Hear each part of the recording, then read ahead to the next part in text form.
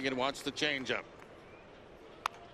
And it is diving at shortstop. Holt gets up, throws to first in time to get Rivera. Nicely picked by Nava. Nice play on both ends that time to get Rivera and end the second inning. First is a changeup, so he's thinking pull. Instead, he has to go to his left, which holds him up a step.